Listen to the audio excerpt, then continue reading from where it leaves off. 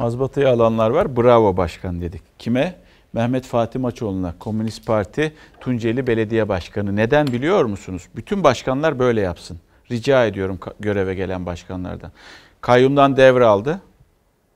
Bir tarafta belediyenin alacağı vardı, diğer tarafta belediyenin borcu vardı. Ve millet her şeyi gördü. Alacağı da, borcu da. 800 bin lira da hala hazırlanmamış. 1 mil- milyon civarında. Yani 68 560 bin lira civarında borç var. Mazbatasını alır almaz ilk işi borçhanesine bakmak oldu. Komünist başkan olarak bilinen Mehmet Maçoğlu Tunceli Belediyesi'ni 68 milyonu aşan bir borçla devraldı kayyumdan.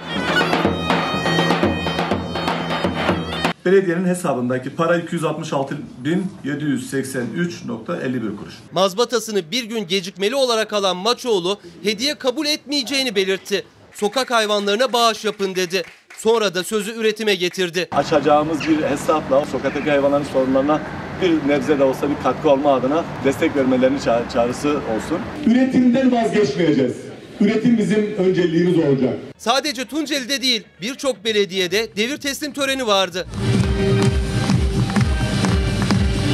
İstanbul Şişli'de CHP'li Muammer Keskin Hayri İnönü'den görevi devraldı. Keskin CHP rozetini çıkartıp eski başkanın yakasına taktı. Her partiden seçmene eşit mesafede olacağının mesajını verdi. yakınlarım, dostlarım Şişli Belediyesi'nin kaynaklarından zenginleşmeyecekler. Bunu size size söz veriyorum ama aynı zamanda sizin takip etmenize de fırsat tanıyorum. Hatay'da CHP'li Lütfü Savaş, Trabzon'da AK Partili Murat Zorluoğlu, Zonguldak'ta AK Partili Ömer Selim Alan, Gaziantep'te de AK Partili Fatma Şahin mazbatalarını alarak göreve başladı. Üçüncü defa mazbata aldık. Bolu'da CHP'den belediye başkanı seçilen Tanju Özcan, Türk bayrağı ve Kur'an-ı Kerim'i öperek oturdu koltuğuna. Kurucu liderimiz Mustafa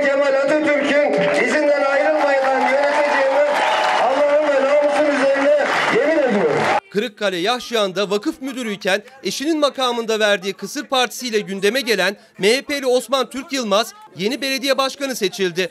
Türk Yılmaz ilk iş olarak bu kez belediye binasında Kısır Partisi düzenledi. Ve makamda gerçekten bu sefer Kısır Partisi yapıyoruz. Buyurun. Erdoğan'ın memleketi Rize'de kentin CHP'li tek başkanı Ercüment Şahin Çervatoğlu Fındıklı'da görevi devralınca makam odasının kapısını söktürdü.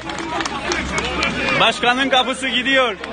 İzmir'in Foça ilçesinde 8 yıldır itfaiyede çalışan CHP'li Fatih Gürbüz mazbatasını alarak belediye başkanlığı koltuğuna oturdu. Gönlümüzün kapısı hem de belediyemizin kapısı herkese açık. Her zaman gelebilirsiniz.